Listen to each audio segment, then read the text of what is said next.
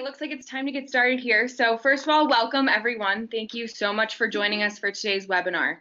We are presenting today on the first part of our Amazon Vendor Strategy series on increasing sales and maximizing profitability through the hybrid model. My name is Dina Podner, and I'm the Marketing Manager at Marketplace Strategy. Marketplace Strategy is a strategic marketplace sales acceleration agency serving clients from startups to Fortune 50 companies. We manage more than 125 million in Amazon revenue in a variety of categories, from grocery to personal care to home improvement, electronics, furniture, and many more. Our team includes strategists, designers, writers, and advertising specialists trained and focused exclusively on Amazon sales. Just a little bit of housekeeping before we get started.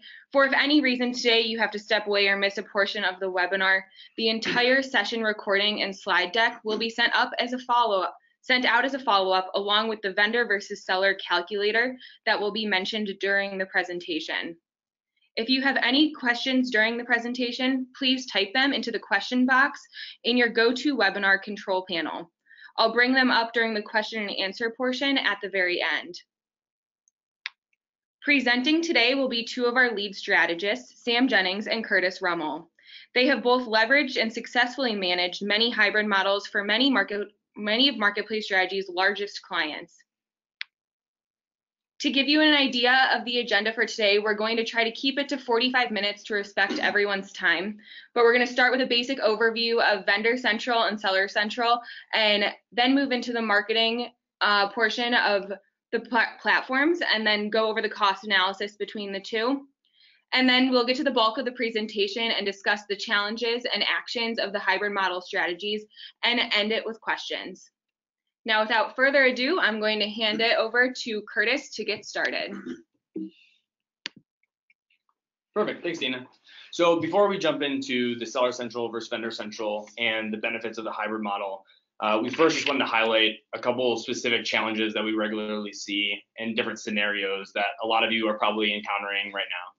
Um, so some of them, such as Amazon proposing unrealistic term increases, cost increases, uh, requesting for funding, or you know Amazon looking for lower costs, Amazon having ASINs crap out unexpectedly, ongoing confusing chargebacks, Amazon just not ordering enough in general, and just extremely slow product launches. So these are just some of the pain points that we've seen and have been able to successfully resolve utilizing the, the hybrid model and some of the different strategies that we'll go through in a, in a few slides here. So marketplace strategy defines the hybrid model as a strategic approach to Amazon, which consists of employing both vendor central and seller central to maximize sales, profitability, and versatility on the channel. So in general, we're going to be focusing here on why a brand that is currently on Vendor Central should and would utilize Seller Central for increased profit um, and just some of the specific examples that we've seen. So to get started, I'm going to switch it over to Sam, and he's going to provide a quick high-level overview of Amazon, the ecosystem, and kind of how everything here fits together. Great. Hi, everybody. So um, to get things started, I just wanted to preface kind of the first half of the webinar um, and just say that some of these explanations may already be somewhat familiar to you. Um, and really the goal of it is to get into the meat of it, which is really the strategies of the hybrid model. But to understand those strategies, you really have to have a, a solid understanding and foundation of uh, vendor central and seller central and the different options you have. So the first thing that we're going to go over here, which is on this slide, is kind of a diagram of all of the, the different fulfillment options that you have on vendor central and seller central. So on the left here, we have Vendor Central. Um, we have the two routes, one being purchase orders, which is a very traditional retail model, and most of you are probably familiar with this. And then we also have direct fulfillment. And then on the Seller Central side, we have fulfillment by Amazon and fulfillment by Merchant.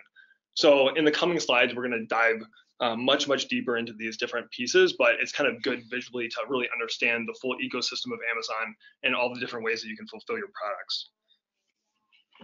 Another uh, very important point as we go forward is just to really understand too that the goal of this presentation is not to um, compare Seller Central and Vendor Central and almost like match them up as competitors. Um, really, what we want you to keep in mind is that the benefits of each platform can be accomplished through the hybrid model, and any negatives that we call out can be um, alleviated also by the hybrid model.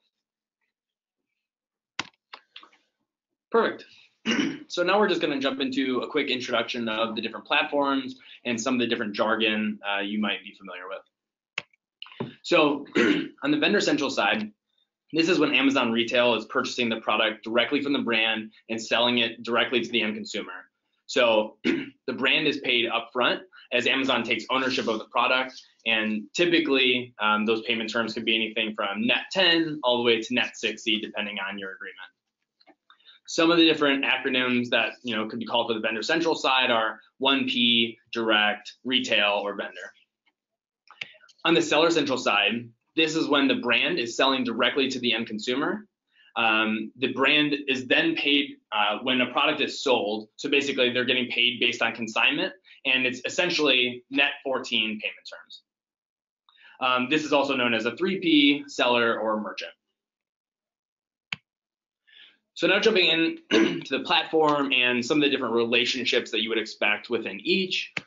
So on the vendor central side, uh, as everybody knows, you know, Vendor Central is heavily reliant on the case ticket system and working directly with RBS, so the retail business service team, to basically get anything on Amazon uh, completed. So whether that's fixing specific bullet points or that's you know making sure an image got uploaded correctly or just kind of resolving different kind of NIS new item uh, uploads and different difficulties with that. You may or may not have contact with a buyer or vendor manager, really depending on kind of your size relative to the, the, the high level category that you're in inside of Vendor Central.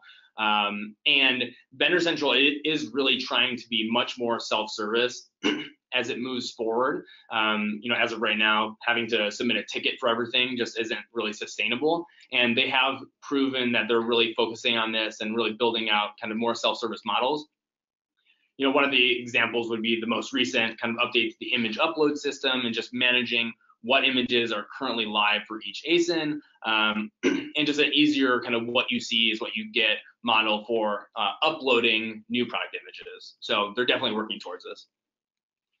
On the Seller Central side, the platform was 99% was built basically with the primary goal of being able to accomplish everything directly as a self-service model. So everything from launching a new product to uploading images to uploading content to up updating any specific aspect inside of Seller Central was built to service, you know, the millions and millions of sellers that utilize Seller Central on a daily basis. So there is also the case system and different various support teams that you can utilize to basically get things accomplished, uh, such as the FBA team for different fulfillment issues, the captive team, the catalog team. So everybody is really specialized with very specific roles that can kind of help you get you know specific things accomplished. Um, just on the Seller Central side there.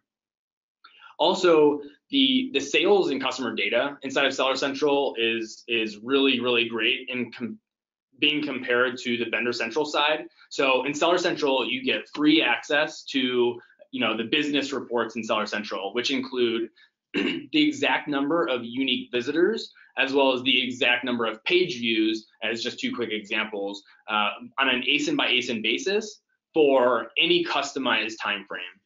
And this is really valuable because it's really the only place in Amazon where you can get very specific data on the traffic numbers that are going to each of your listings. so it's a really great thing to utilize, and, and we'll go into that a little bit later and towards the end of the presentation on how we would actually utilize that data. But just quickly comparing that to the, the vendor central data side of you know basic uh, ARA, which is basically you would only be able to receive you know how many units you shipped over a set time period, um, and that's really the, the the most valuable thing you get in Vendor Central. Um, and then jumping into the premium ARA side is when you get a little bit more that more valuable data, such as kind of geographic sales, uh, you know, what products another person purchased when they purchased your own product. However, that comes at a really, you know, it comes at a cost of, you know, somewhere between, you know, fifty to seventy thousand dollars per year to get access to that data. So, you know, it's really nice to be able to utilize Seller Central as a platform to get that very defined exact data so that we can use this for kind of different strategies, you know, in the pipeline. Okay, great. So jumping into the different fulfillment options. So this slide is going to um, basically mirror the diagram that we looked at earlier that showed all the different fulfillment options that a brand has through the two different platforms. Um, so first, looking at Vendor Central, um, the kind of traditional model that everyone is used to is the purchase order model. So this is where you know Amazon has all of their algorithms that are really forecasting um, demand by consumers for each individual ASIN, and kind of based on that demand that they're forecasting, they're going to place purchase orders for your products um, to meet that demand. Um, there's also the direct fulfillment option. So this is actually where the brand um, and Vendor Central can ship a product um, directly from their warehouse to the end consumer. Um, and this is an option that uh, pretty much any vendor can employ, and, and not everyone has the ability to do that, but it is a it's a strong option if you do have the ability. In Seller Central, you have two options as well. So fulfillment by Amazon is basically where the um, seller is going to decide how much inventory they want to ship into Amazon's warehouse, um, and then they're they're essentially just um, they're renting storage within the Amazon warehouse, and then Amazon's handling the pick, pack, and ship just as like they would for uh, Vendor Central. Um, and then on the fulfillment by merchant side, FBM, this is where the seller is going to be shipping the product directly to the end consumer. Um, and so if you were look at, looking at these apples to apples, um, you would really compare from a logistics and operational standpoint, the purchase order model um, of Vendor Central to FBA on Seller Central, and you would compare uh, direct fulfillment on Vendor Central to fulfilled by merchant on Seller Central. Great, so kind of going off of that, we want to get into um, you know the prime badges and prime designation. So this is obviously a very very important uh, consideration when looking at all your different options. Um, you know, tons of consumers buy only prime products. Um, it really boosts conversion rates and has a huge impact on sales. So on Vendor Central, every method that you can use for fulfillment, POs and direct fulfillment, um, are going to show that prime badge in the search results and on your listing. Um, the only caveat here is that if you are using direct fulfillment, the product page is going to say usually ships within you know two to three days or three to five days. Um, and those amount of days are going to update based on your warehouse's ability to ship that product to the end consumer in a timely manner um, so this if you kind of think about it from a consumer standpoint you go to a page normally it says two day shipping but it actually reads usually ships within three to five days. This could potentially hurt conversion rates. Um, it still has the prime badge which is great but just um, a small consideration there. On the seller central side FBA fulfillment by Amazon is always going to be Prime, and that's just because Amazon again is handling the shipping of that product, so that they're able to put the Prime badge on it. FBM is not Prime, so um, because the the brand is shipping uh, from Seller Central to uh, the end consumer, this one does not have the Prime badge. The only way that you can get it is if you're enrolled in the Seller Fulfilled Prime program. Um, this is a very specialized program that Seller Central, you know, rolled out over the past couple of years, where um, if you meet very stringent shipping requirements um, and are able to ship within kind of the two-day time frame for your FBM orders, you can actually get Prime on your um, listings, uh, even if you are shipping to the end consumer. So that's also an option. So when comparing all of these, you know, all these methods together, you know, the goal is to get prime. So if you do have the ability to ship directly from your warehouse to the end consumer, we definitely recommend direct fulfillment just because in Vendor Central, direct fulfillment does provide you with that prime badge. Great. So now looking at the inventory management side of both platforms, So vendor, in Vendor Central, Amazon handles all inventory forecasting. They handle all inventory management, uh, and it's really a much more of a set it and forget it model. Whereas once the product is set up and it's getting, getting purchased, um, Amazon pretty much handles everything from that point on. You know, the vendor also has, you know, minimal most of the time has minimal influence over PO timing, uh, the frequency of those POs, and the actual order quantity of specific ASINs obviously if you have you know a better more developed relationship with with your vendor manager, you can kind of get these to be updated a little bit more and have a little bit more influence. But for the most part, um, we would say that it's not necessarily a good thing to rely on. On the seller central side, the seller is ultimately responsible for all forecasting of product inventory and, and future prospective sales, as well as managing the current inventory levels that are currently in uh, FBA at any given time. So the seller is 100% in charge of initiating the FBA shipments into F, into the FBA fulfillment centers, uh, as well as completing the entire uh, shipment process based on your forecasts and your desired weeks of coverage. So there's a couple of different ways that you could look at it here.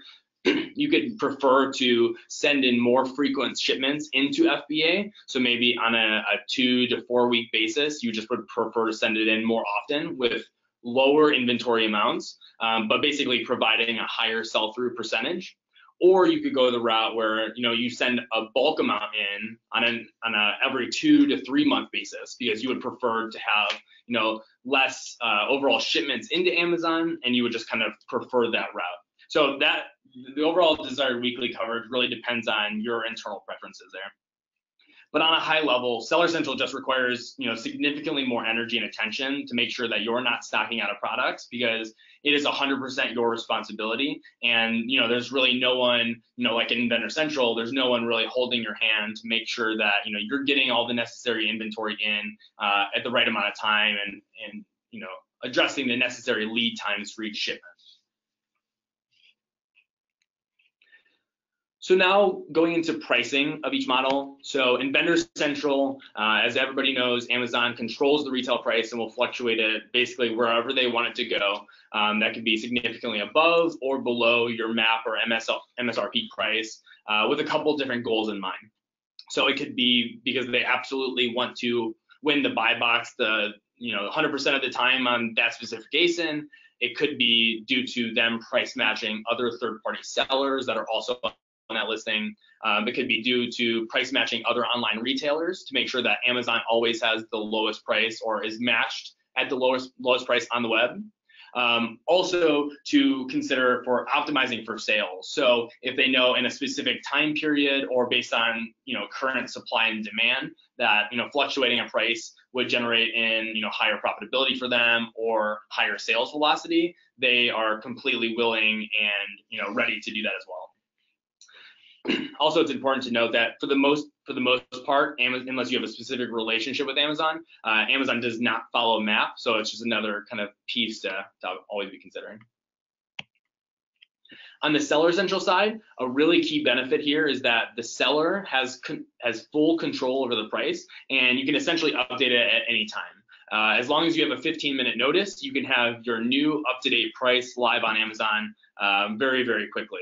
And this is really a, a big benefit that, you know, brands that are constantly dealing with with channel conflict and your other retailers coming to you and saying, you know, why is Amazon uh, pricing the product at, you know, 30% less than my actual cost? And your reply to them being that, you know, they they price it to whatever they want. Um, so this just provides another lever that you can consistently be pulling to make sure that you know your price is set where you want it to be. Um, also, if you wanted to use this as kind of a visibility to other retailers, basically telling them that hey, we are enforcing our map, uh, we are you know valuing your relationship. So it's just another piece to to definitely consider here. Alrighty, so last but not least, when controlling vendor central and seller central, there's a lot of considerations um, kind of in the marketing realm. So um, although these products are sold on the same website, uh, Vendor Central and Seller Central have very different capabilities and offerings from a marketing standpoint. You know, these are ever changing. If you if we would have done this presentation six months ago, um, this would have been a completely different slide. So it's really important to kind of stay up to date on this stuff and really understand the the core differences between the channels. So the first thing we're going to look at is promotion. So on Vendor Central, you know everyone's familiar with the the lightning deals, the deal of the day, all those different offerings that you have um, access to. On Seller Central, you only have access to lightning deals, and they have to actually be recommended by Amazon in order for you to use them. So that's one one key difference. Um, from a coupon standpoint, um, on Vendor Central, the coupons look a little bit different. They actually display in the search results, which can be very strong from a click-through rate standpoint to get people to go to your page, and then also obviously from a conversion rate standpoint, standpoint once they're on their page to actually purchase the product uh, using that coupon. On Seller Central, the coupons are a little bit different. They don't show up in the search engine result pages. Um, but you do have some more versatility. You can do interesting things like cross-selling products or, you know, buy two of this product, get the third one free. A lot of different kind of cool things there if you're trying to expand um, kind of the share of wallet from an advertising standpoint, um, it's almost um, exactly the same on Seller Central and Vendor Central. Um, the only thing that is different is Seller Central does not have access to product display ads, which are you know the ads that show up um, uh, within the product pages, um, and you can kind of control where those show up. So that is one difference um, from an advertising standpoint. and then from looking at enhanced content, so Vendor Central offers A plus pages. You know, over in the recent months, they've rolled this out as a completely free tool for um, all vendors to leverage uh, across their whole catalog, which is really amazing um, and definitely something that we recommend leveraging. Um, something that they've hinted that is coming down the line for all vendors will be premium A plus content. So this is something that they've kind of only released as a beta to a handful of kind of higher level vendors. Um, that's going to include things like video content and um, more engaging um, dynamic content. On the Seller Central side, there is something called enhanced brand content. So um, although it's called something different, it's almost the exact same thing as an A plus page. Um, the modules that you can use are slightly different, but it appears in the same place on the product page and it really um, accomplishes the goal of branding that page and driving conversion rates. Uh, that's also a free a free tool as well. Um, as far as gaining reviews, um, Vendor Central offers the Vine program, which comparatively is a little bit more costly. Uh, Seller Central offers something called the Early Reviewers Program. Again, this is a pretty new thing that uh, Seller Central has come out with um, probably in the past six months or so, uh, where you enroll your product and um, you basically pay $60 for up to five reviews, which is a pretty great deal and something that's extremely vital when launching new products. Um, and then two kind of areas that are a little bit different on Vendor Central and Seller Central. On Vendor Central, you do have the access to or the ability to upload detail page videos, uh, which again is a very, very helpful thing from a conversion rate standpoint. Um, on Seller Central, we think that that's probably coming down the pipeline very soon. They've kind of hinted at it at a few places in the platform, but right now it's not available to everyone. Um, on Seller Central, you can actually communicate with the customer post purchase. Uh, because we actually own the product, we're able to have that kind of one on one communication.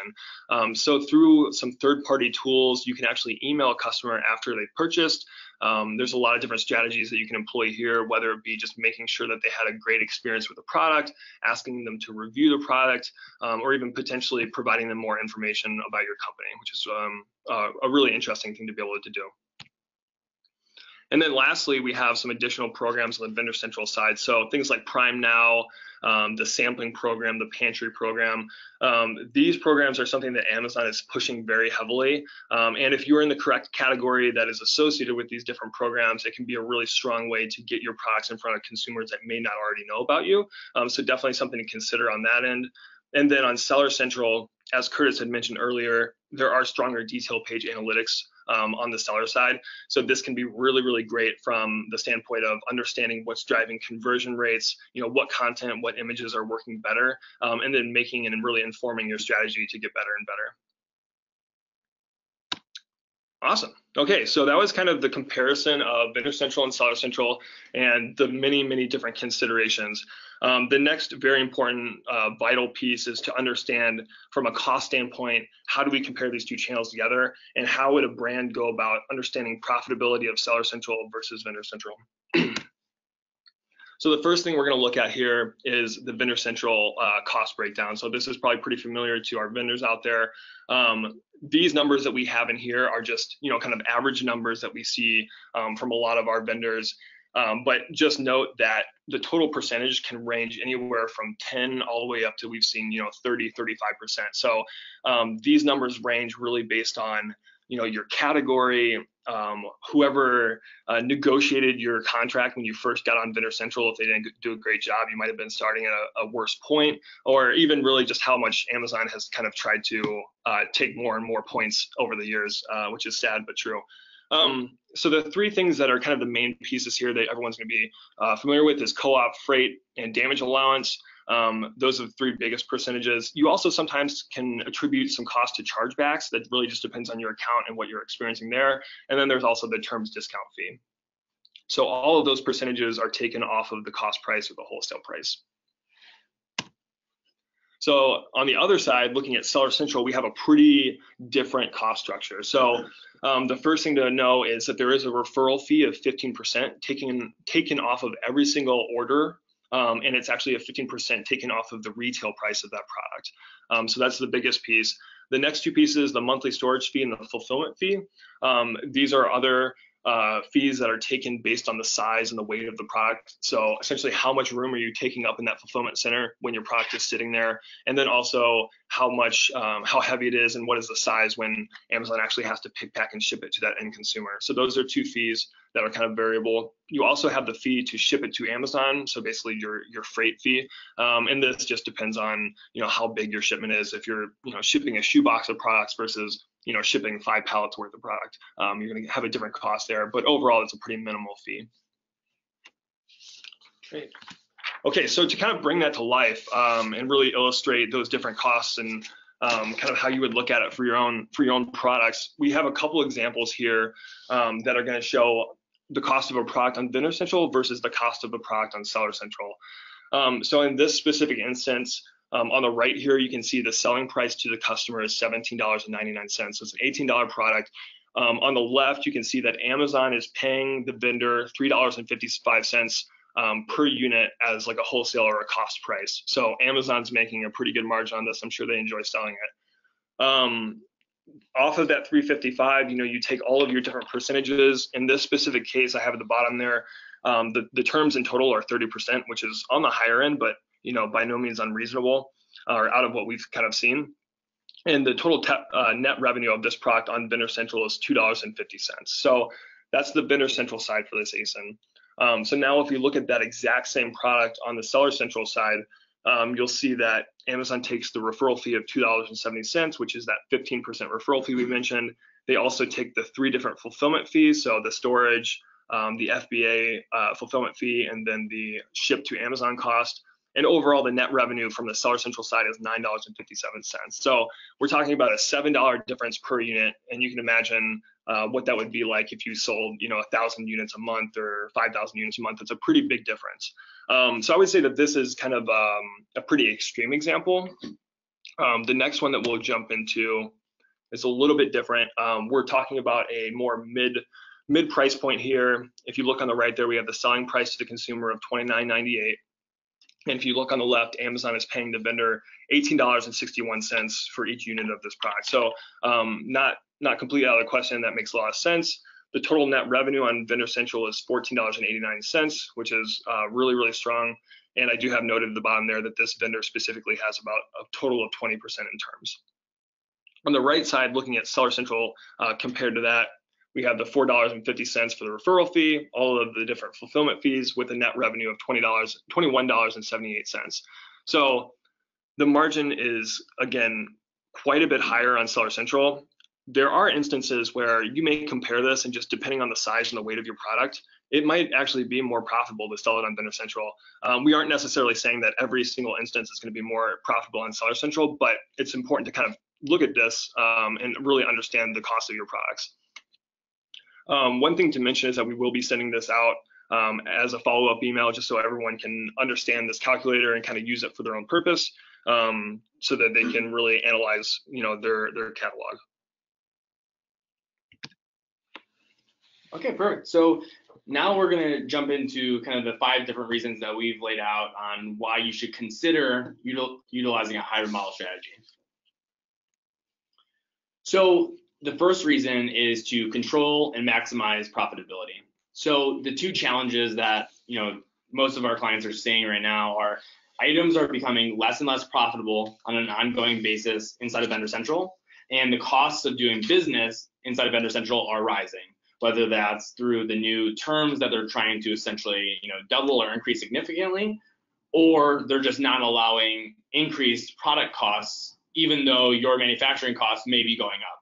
Um, also, the other challenge being that vendor chargebacks are really a recurring theme that we're seeing across the board, and they are really becoming a, a, growing cost as Amazon tries to be much more strict and specific on exactly the requirements they require for you to send in uh, inventory and products into them.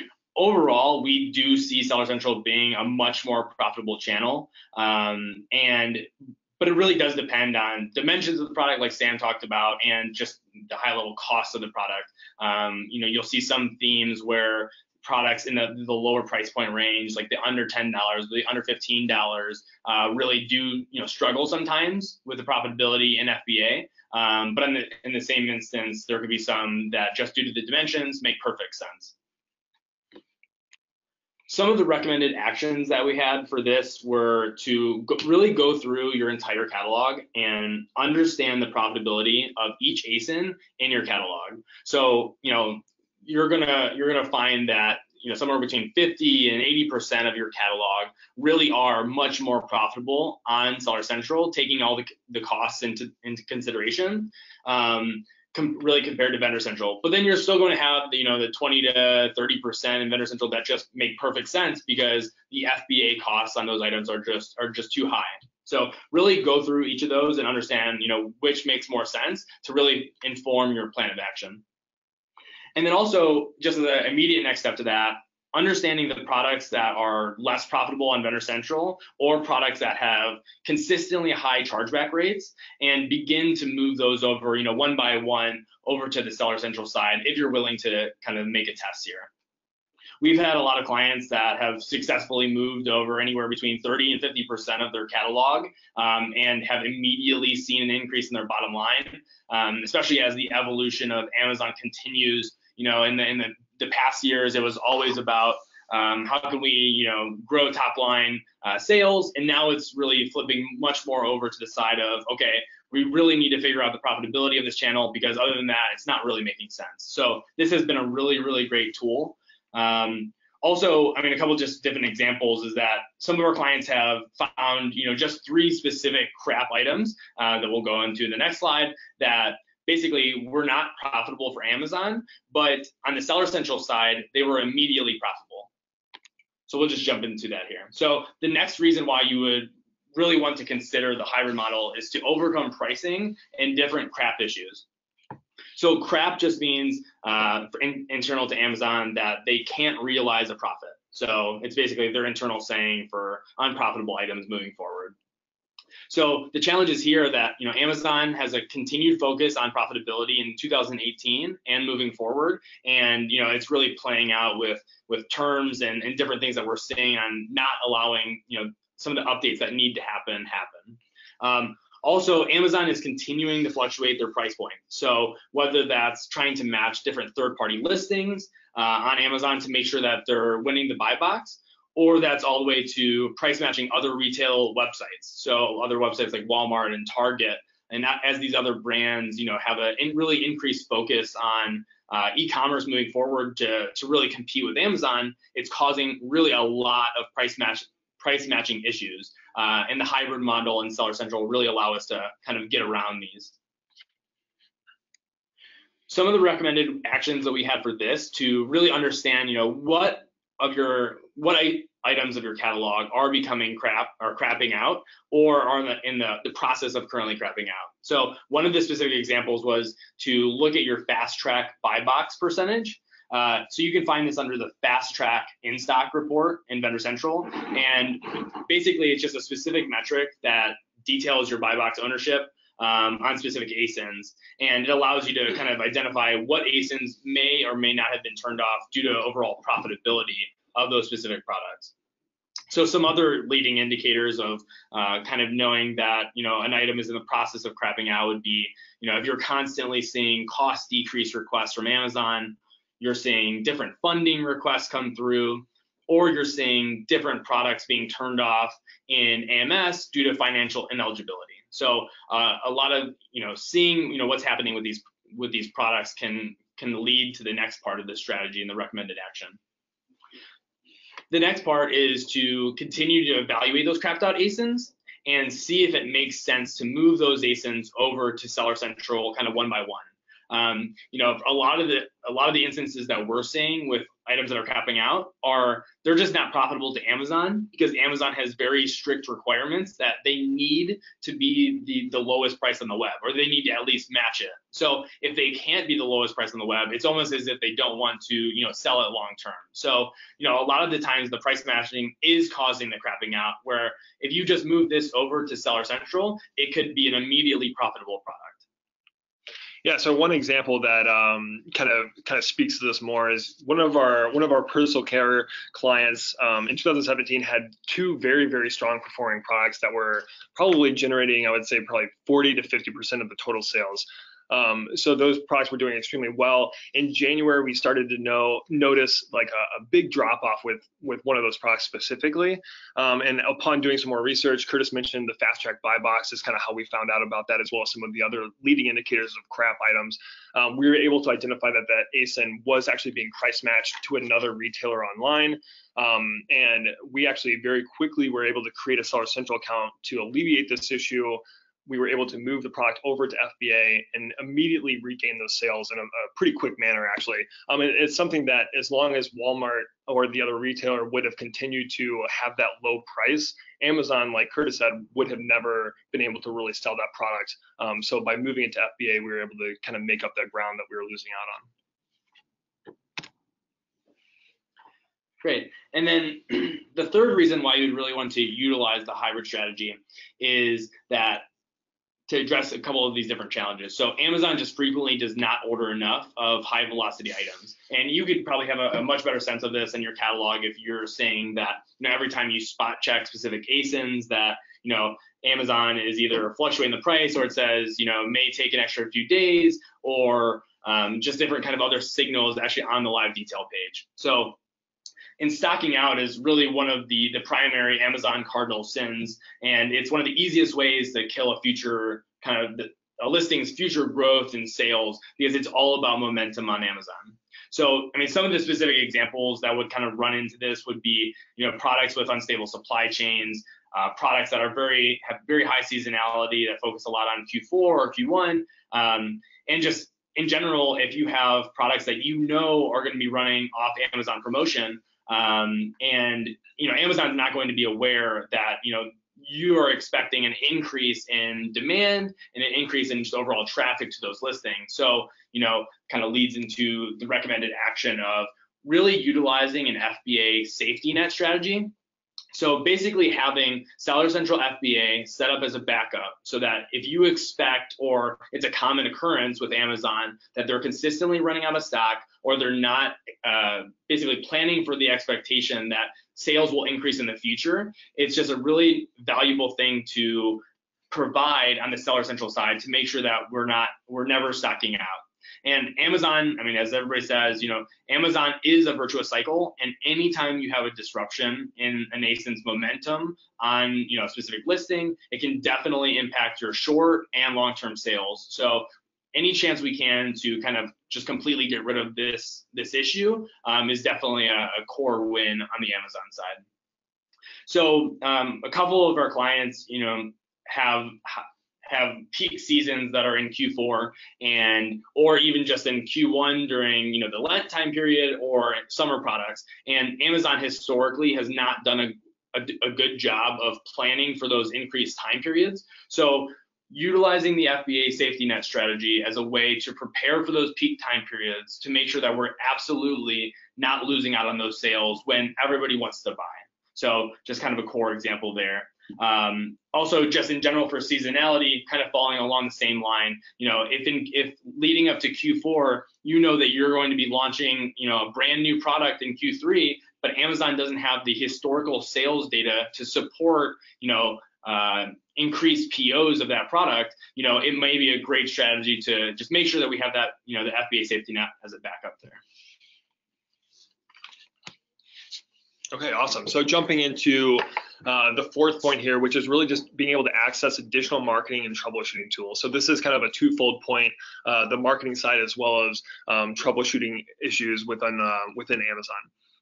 So the the main challenge here, which is actually probably to most people just kind of an unknown challenge is the fact that by only selling on the vendor central platform uh, brands are really not maximizing their full sales potential because they really only have access to the marketing tools that are on vendor central and not seller central so um, that's a huge huge missed, missed opportunity that um, we could really be leveraging the benefits of vendor central as well as seller central from a marketing standpoint um, the other thing that we've hit on quite a bit already is just the lack of sales insights on Vendor Central. So especially if you don't have ARA Premium, um, you really don't have a whole lot of data that helps you to inform your marketing strategy. So utilizing Seller Central is a, a huge win there as well.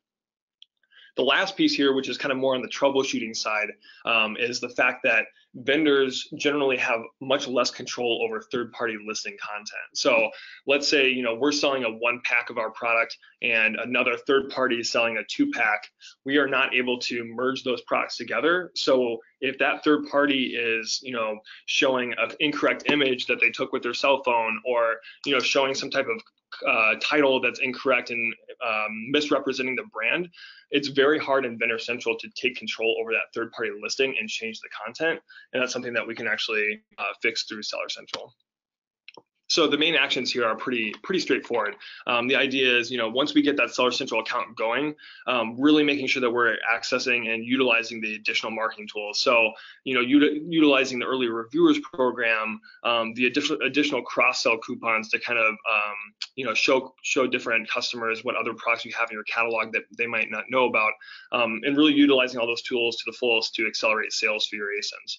Um, and then on the troubleshooting side, you know, being able to one take advantage of kind of ownership of third party listing content is really huge. So that's extremely important from kind of a, a brand ownership standpoint. And then two, having more specialized support. Um, Curtis mentioned earlier, there's very specialized teams at Amazon Seller Central that deal with very specific issues that you can kind of access to get things done in a quicker manner. All right, and naturally kind of segueing into new product launches. So the biggest challenge here, which I, I'm sure a lot of you are familiar with, whether you're launching you know one specific product or a product extension um, where you're coming out with a new line um, of different products um, it's always a huge pain point to get those products launched successfully on Vendor Central. So usually the process goes, you know, it takes you a week or two weeks to actually create that ASIN and have Amazon accept it and kind of put it in your catalog. And then it can take another two weeks. It can take multiple months to receive that first purchase order. Um, this really, really slows down the process, obviously, if you're waiting for them to take that first step to uh, place the PO. And that first PO um, is really just based on, you know, how they how they perceive that potential ASIN in the market and what they think the demand is going to be. Um, sometimes they're faster, sometimes they're slower. The other piece is if you're doing a really good job as a marketer to push that product um, in that initial launch phase, let's say you're running advertising towards that product, you're doing different coupons and promotions to really push it, there's a good chance that you're going to stock out because they did not order enough in the first place. Um, and as we mentioned, the sales velocity piece is very important. Um, if we're stocking out, we're slowing down our sales velocity and really just slowing down the overall success of that potential product on Amazon. So um, the action here is to launch products on Seller Central. Um, this is something that we do um, with quite a few of our largest clients where basically we take a product that's launching, we start it on Seller Central, we ensure that we have you know two to three months of expected coverage in FBA of the inventory of that product to make sure that um, we're not going to stock out whatsoever and then we're utilizing all the additional tools that we have, um, like the early reviewers program and the email marketing campaign and the different coupons to make sure that we are really doing all that we can to make a successful launch out of that program. Um, something that we get asked quite a bit is, oh, well, if you started out in Seller Central, can we move it over to Vendor Central? The answer is yes. Um, you, what you could do is basically wait till once you launched a product in Seller Central, let's say you get you know 20 reviews and you have a pretty consistent sales velocity um, if you feel comfortable, you can move that product over to Vendor Central and kind of let Amazon Retail take the reins and start purchasing your product um, on an ongoing basis. Awesome. So those are our five reasons why you would, as a vendor, employ the hybrid model um, and kind of different pain points and things that we're seeing on a daily basis that we know for a fact can really be um, alleviated through utilizing Seller Central um, and Vendor Central at the same time. So now the big question, what is the next step? So what is what is the first thing that we can do to really get started? This is pretty straightforward. So we're going to create a Seller Central account. Um, there's really no reason not to. Um, we always get the question, you know, is is Vendor Central going to get notified that we're creating a Seller Central account? Is our vendor manager going to notice? Um, that is not going to happen. There's no harm in creating this account. You know, it only takes like a couple of hours. It's very quick. Um, and then the great thing is, you know, as a marketer, um, you can kind of jump in there, play around, see how self-serve it is. I think you, um, all the people who have not really been exposed to the Seller Central platform yet will be pleasantly surprised by um, kind of all the different things you can do within the account.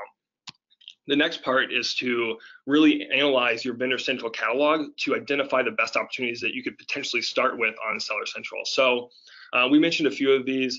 The biggest things that we would do is really take the top 20% of your catalog, like uh, the products that are really driving the most sales, understand from a foundational standpoint which products are going to be more um, much more profitable on seller central and potentially think about moving those over um, you could also conduct a crap or a out of stock analysis to understand if there's just revenue being left on the table because amazon amazon's not purchasing the product or there's frequent stockouts and those are just immediate quick wins where you can take that revenue over to seller central and then also the third one, uh, just being any upcoming product launches that you have in the future, where basically you can just test out one or two on Seller Central, really get that sales velocity going, control the inventory, and then potentially move it back to Vendor Central if that's the preference. So another big piece here is to make sure that you're always applying for brand registry. So this is a this is something that Amazon's putting a huge focus on. Um, we're at, we've actually been working pretty closely with the brand registry team at Amazon um, to make sure that we're doing kind of the best practices for our brands. And one thing that's very important to note is that even if you have brand registry on Vendor Central, you want to make sure that you also have that for any brands that you're selling on Seller Central. Um, brand registry is kind of acting as that central hub between the two platforms. Um, and you just want to make sure from a content standpoint, from a brand ownership standpoint, that you have both of those, um, you have brand registry covered. All right, and then the last piece that we always recommend is just a crawl, walk, run approach. Um, a lot of questions that we get are always about um, you know, do I have to move my whole catalog over? This sounds, you know, really intimidating. What what if this happens? What if that happens? Um, what we always say is, you know, try it out with a couple products, whether it be a crap product that you're currently not able to sell in Vendor Central, or it's something that's very unprofitable for you to sell. You know, give that a go and see how it goes. See how it affects your team internally um, from a from an operational standpoint, and then just kind of ramp it up as you become more and more comfortable with it and really understand the nuances. All righty, well, it looks like we've come up here on our 45 minute mark that we promised, but um, we're gonna get to these questions. So if anyone has to jump off, that is okay. We will be sending out the slide deck and the recording in a follow-up email, like we said. Um, but we're gonna get to these questions right now. Let's see here. All right, so the first question that we had asked here in a few different ways is, will my buyer be mad? yeah, so we get this question all the time. Um, so the Seller Central and Vendor Central teams may as well be completely different companies. So it is somewhat of a gray area that they don't really want you moving over because it's just kind of lost revenue for them. Um, however, you know, if a product craps out on Vendor Central, then there definitely isn't an issue to sell it on Seller Central. However, it's really the products that you know haven't crapped out that you may potentially want to move over to uh, Seller Central that could potentially be the issue. Um, however, just on a high level, um, I would just recommend not letting your vendor manager know that you're kind of evaluating this opportunity um, just to be safe and to see how everything kind of progresses here. Um, however, that with that being said, 70% um, of our clients, roughly, you know, large and small, are utilizing the hybrid model in some shape or form, uh, and we have never seen an issue. And you know, we, we've seen some clients that if they were to accept their 2018 terms, then they would immediately be unprofitable. So, you know, we also view this as, you know, it's it's an absolute necessary thing to have as a backup because you know, Amazon's going to do whatever is best for them at any given time, whether that's, you know, doubling your terms or not allowing you to increase your costs. So you just also need to be prepared to do what is best for your brand in the long run, you know, really utilizing Amazon as a channel. All right, perfect, thanks. The next question here is, can I move my ASINs back to Vendor Central if I move them to Seller Central? Yeah, so um, so definitely, you you 100% can move ASINs back and forth. Um, the really important thing to remember is that every product on Amazon is tied to that ASIN identifier. Um, so whether it's on Vendor Central or Seller Central, you're always going to have those reviews that are tied to the ASIN and the sales velocity. So moving them back and forth isn't really going to hurt anything. Um, what we tell people is if there's any issues uh, when you move something over to Seller Central, it can very easily be uh, pushed back to the other side. So definitely no worries there. Perfect, thanks. What about product returns in Seller Central? Yes, so product returns in Seller Central. So assuming you're utilizing fulfillment by Amazon, uh, uh, FBA will handle all product returns. So basically, all product returns and customer service. So say a, say a customer wants to return something back, they would just ship it directly back to FBA, uh, and they would handle everything. Um, and then basically on an ongoing basis, you can request Amazon to return all of those returns back to you at 50 cents per unit, or you could just have them, you know, destroy the product. Uh, free returns happen, you know, regularly throughout the year. I think last year there was, you know, three different instances where um, they just basically said for the next week or two, if you, you know, want to have any products that are currently in FBA returned to you, um, you can absolutely go ahead and do that. So you know, and, and that's in Amazon's best interest because they just need to get things out of their fulfillment centers because there's so much demand. So. Yep. All right, and the next question we have here are the stronger detail page analytics better than ARA Premium? Yeah, definitely. So, I mean, I, I, guess it's kind of up to the person who's viewing it and kind of what they're using that data for. Um, in my opinion, the analytics on Seller Central are considerably better. Um, you're going to get straight um, information from a traffic standpoint, a conversion rate standpoint. Um, you get information on reviews, um, a lot of different interesting elements that you don't get on um, basic or premium. Um, and you also have the ability to look back in time quite a bit. Um, do you have anything to add to that? Yeah, definitely. I think they also have different use cases. so from the Seller Central side, you can basically you know see the exact traffic that are coming to those pages. So it really helps with an overall understanding of you know conversion rate on that page which is something that you definitely don't get um, nearly as much of on the premium ARA side. So that's definitely a valuable thing. Um, also on the seller central side it just makes it a lot better for overall A/B testing uh, because you can basically note the exact day that a change went live, and then you can see the exact before and the exact after uh, traffic and conversion rate for that listing. So it just allows you mo much more clear data. Whereas on the premium ARA side, there's just a lot of other opportunities that we can uh, utilize from like the geographic data side, and you know customers who bought this also bought this. So um, they're definitely very complementary. So anytime you can utilize them, you know, in tangent is definitely a win. Perfect, thank you. All right, let's see here. The next question is, how does brand registry work with the hybrid model?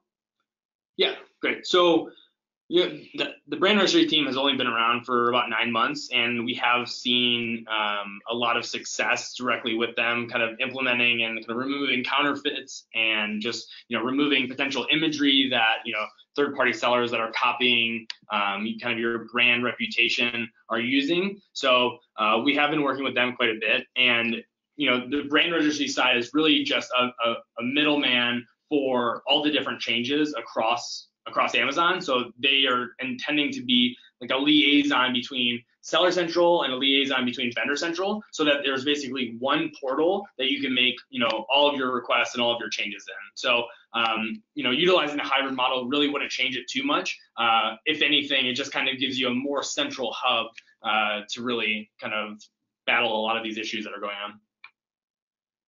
All right, perfect. The next question is how does AMS work when switching from Vendor Central to Seller Central? Are brand pages owned only via Vendor Central? Yeah, definitely. So to answer the second part, brand pages um, can be utilized via Vendor Central or Seller Central. Um, so you can actually create them on either platform. Um, my recommendation would be if you already have it on Vendor Central, just continue to kind of run it through there. There would be no point in creating two separate uh, brand pages or stores as they're called now. Um, the other part of the question is how does AMS work when switching from Vendor Central to Seller Central? So what we like to do as a best practice is if a product is sold on Seller Central, let's make sure that we are advertising it through Seller Central. If the product is sold on Vendor Central, let's make sure that we're advertising it through Vendor Central. Um, the more you can separate those and kind of have clean data, the better.